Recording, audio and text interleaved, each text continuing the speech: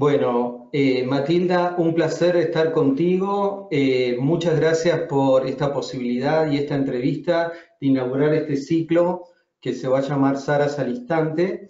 Y bueno, un placer sobre todo porque hoy es una, tarde de invierno bastante fría. Como ves, tenemos la estufa de leña prendida al final.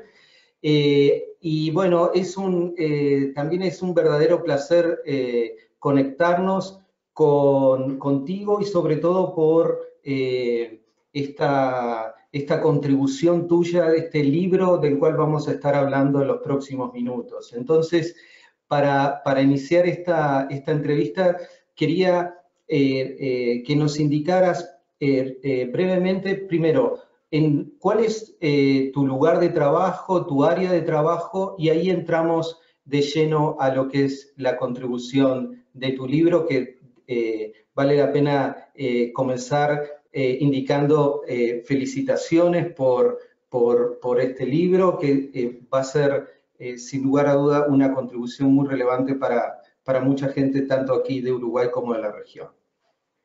Bueno, muchísimas gracias y el gusto es mío. acá en Estocolmo tenemos un día bastante espectacular, últimos días de verano, Así que pronto vamos a cambiar de temperaturas y nosotros vamos a andar eh, con estufa por acá. Eh, bueno, yo soy eh, investigadora en el Departamento de Historia Económica y Relaciones Internacionales en la Universidad de Estocolmo. también soy asociada al Instituto de Estudios Latinoamericanos y formo parte también de la directiva de SAR. Muy bien, eh, Matilda. Eh, contanos un poquito cómo surge eh, esta, esta, publicación que tiene que ver con las grandes transformaciones del uso del suelo aquí en América Latina y de alguna manera cómo, cómo esto está vinculado a tus líneas de trabajo. Bueno, como todos acá sabemos, ha habido estas grandes transformaciones agrarias muy importantes en la región las últimas décadas. Y si bien se ha escrito mucho desde diferentes ángulos, eh, yo sentía que había como, quien dice en inglés, algún research gap, una omisión en la literatura, porque yo veía desde, por lo menos, la política económica tiende a ver, o una literatura muy de sistema mundo que tiende a ver a los estados en la región de América Latina en general como muy débiles, simplemente cómplices por eh, deuda o cooptación o lo que sea, de un proceso de agroglobalización donde los estados en la región eh, no, no tienen tanto que ver. Y así es bastante mucha literatura que solamente enfatiza la financialización, bueno, eh, el avance del agronegocio global y, bueno, los cambios también a nivel global en demanda en China y no sé qué. Y si bien esto me parece muy importante, obviamente los estados también juegan un rol súper importante en poder facilitar, modificar, negociar este cambio que se da si bien el empuje es de alguna manera exógena.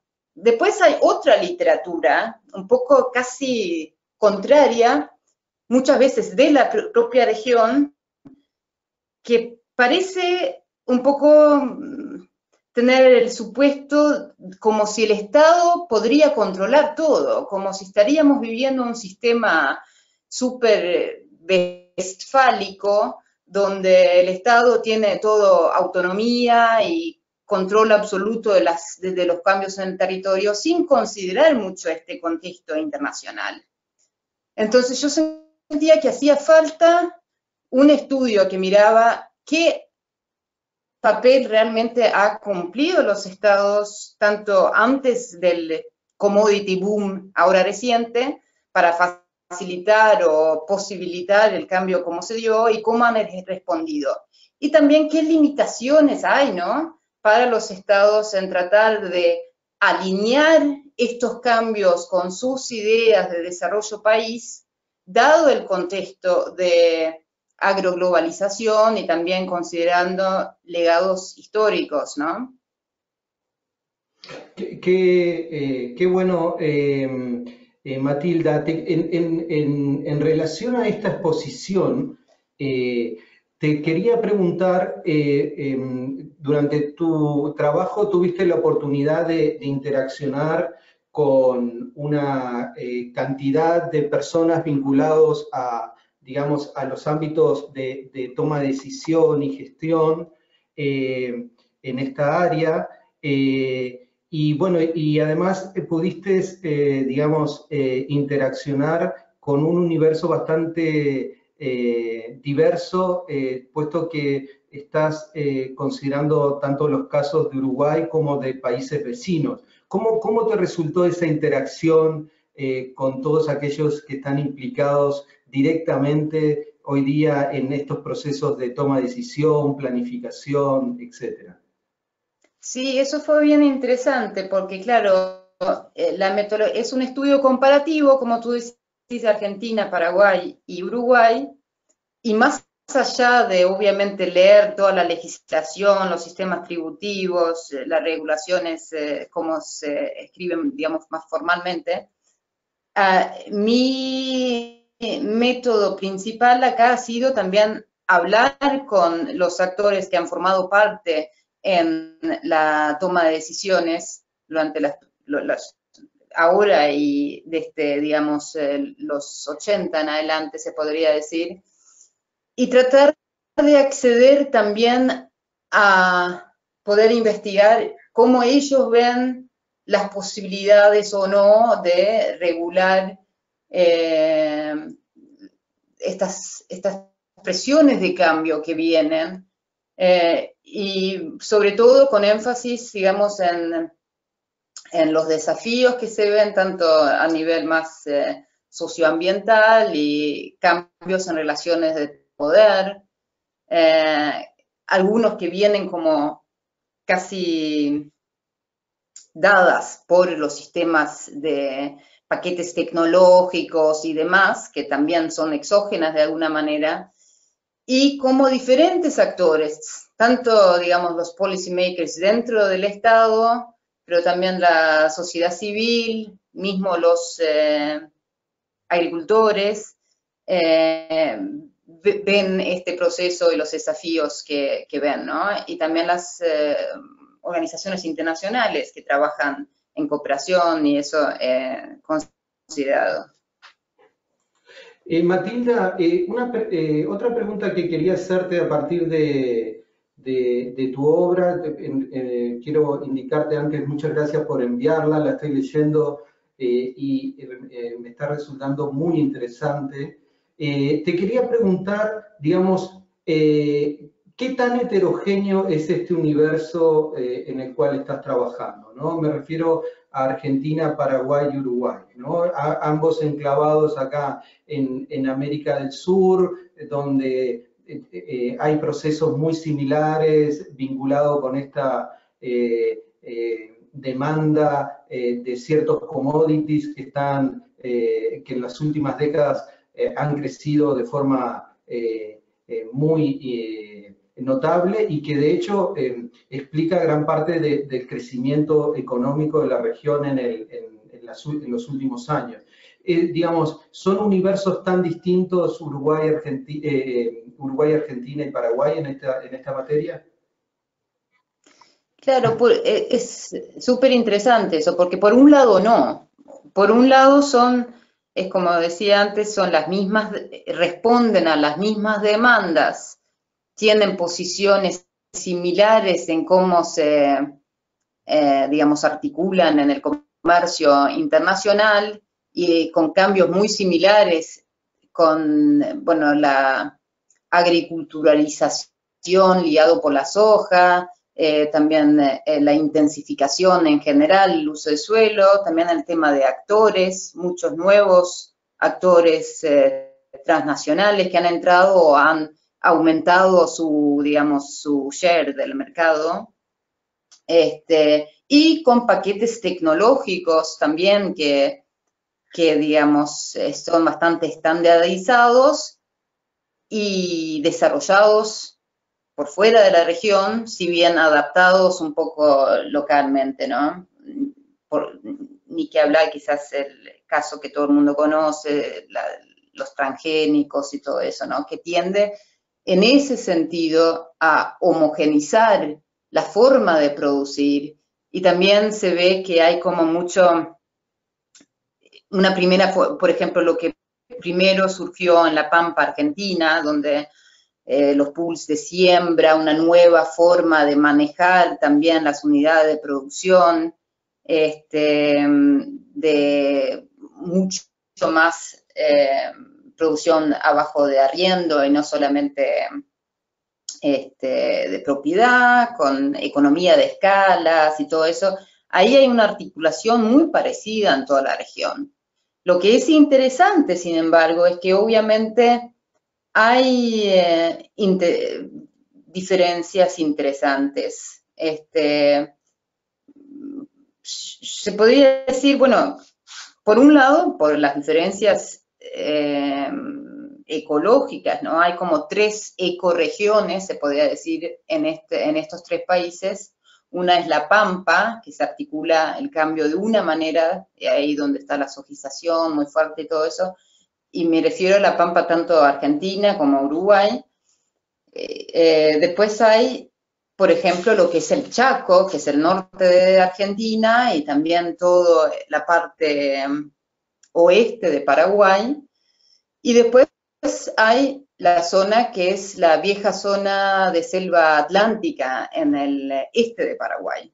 Y obviamente acá son zonas muy diferentes entre sí, tanto, tanto ecológicamente, pero también eh, los pueblos que viven ahí, las formas tradicionales que esta nueva forma de hacer agricultura tiende a desplazar.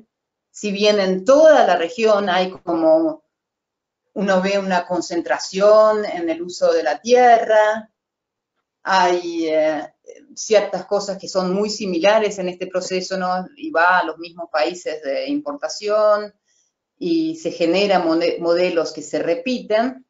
También hay una diferencia importante también en las capacidades de regular este cambio entre Argentina, Paraguay y Uruguay.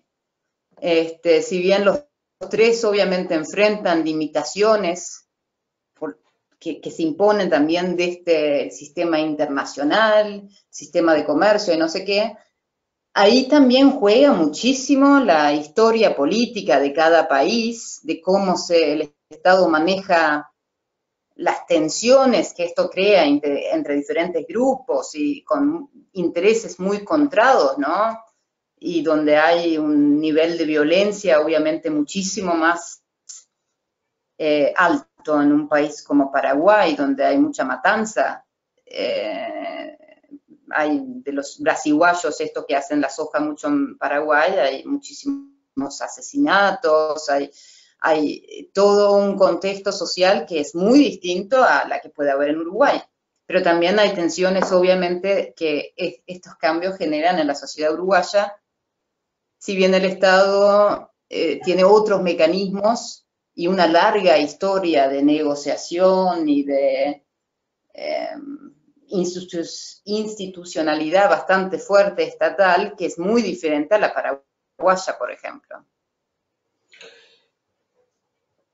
Eh, Matilda, em, eh, teniendo en cuenta, digamos, estas, estas transformaciones y este, digamos, proceso eh, que muchos eh, eh, investigadores del área de historia económica o mismo de economía muchas veces se refieren como primarización de la economía. y, mm. considerando o, tratando de incorporar un análisis ya de mediano y largo plazo, ¿cómo, cómo ¿Cómo evalúas tú la sostenibilidad de esta transformación en el tiempo, ¿no? en el futuro de corto y largo plazo?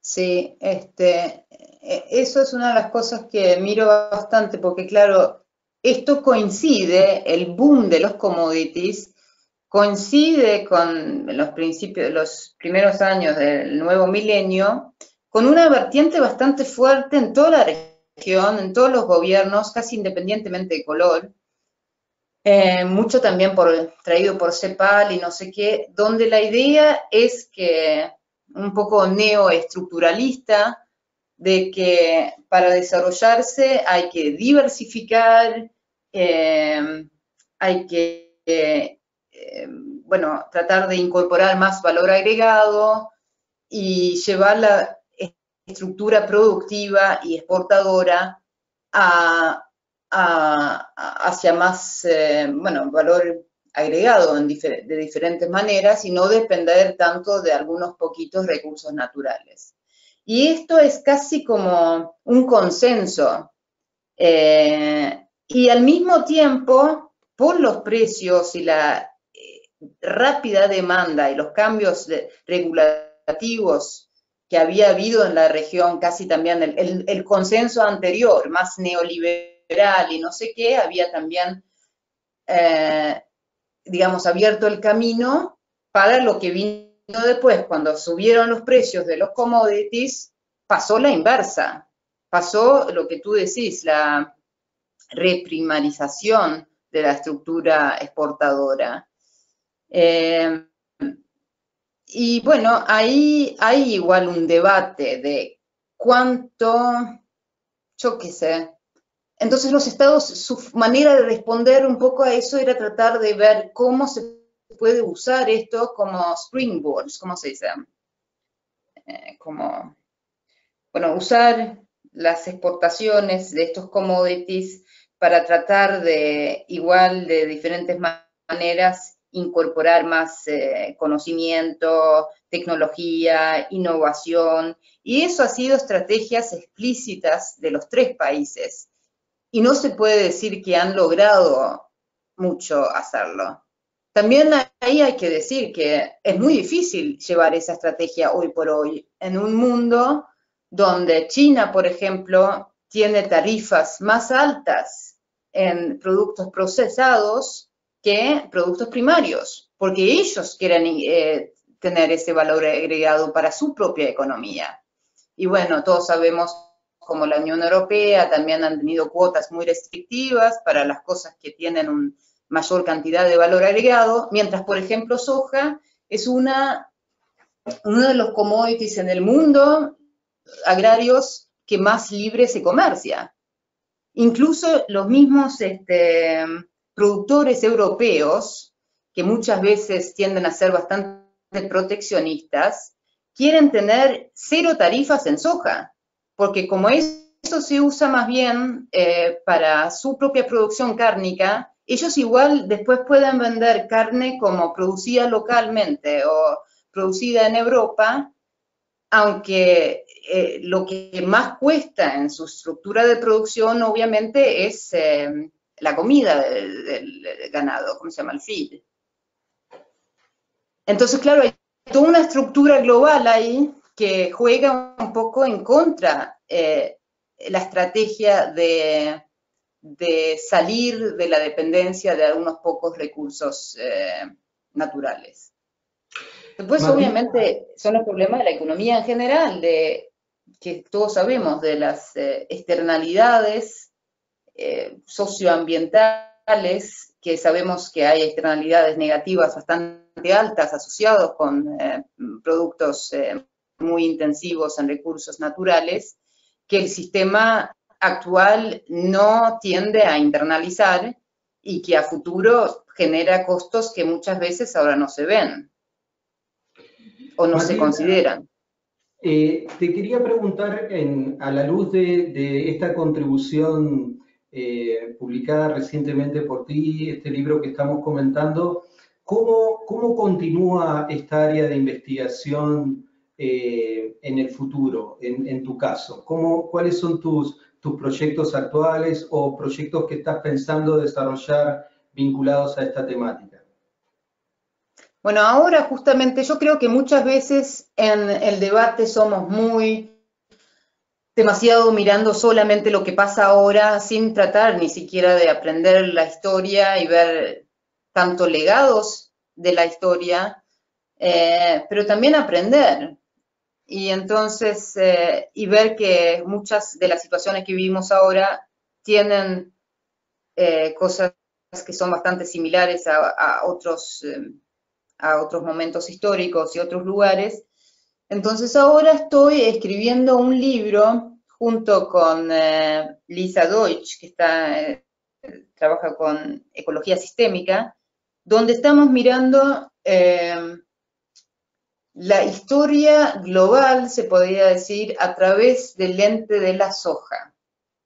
Y cómo a través de mirar la historia de la soja, desde la China antigua, el crecimiento del sistema eh, agroalimenticio mundial actual. Pa, qué interesante, eh, Matilda. Este, eh, ya estoy ansioso de, poder leer ese, nuevo libro. Matilda, te agradezco muchísimo estos minutos y este espacio de intercambio seguramente en, el momento que lo compartamos eh, a través de nuestra página web eh, van a, surgir una serie de inquietudes adicionales eh, que obviamente algunos te van a preguntar directamente por el correo electrónico y seguramente van a estar viniendo varias preguntas sobre sitios donde se puede adquirir este libro. Eh, el, libro, eh, supongo, Matilda, que puede ser adquirido desde Amazon o desde los grandes, eh, digamos, distribuidores de este tipo de textos. ¿Estoy en lo correcto? Sí, correcto. También se puede escribir a mí, me parece. Dale, perfecto. Es un buen mensaje ese, hay que leer entre líneas. Bueno, Matilda, te mando un gran abrazo. Este, gran abrazo a ustedes también, muchísimas gracias. unas pocas horas sobre el lunes nos estamos reuniendo. Te mando un gran abrazo y muchos cariños a la familia. Igualmente, chao. Gracias Matilda, que pases muy bien. Gracias, igualmente.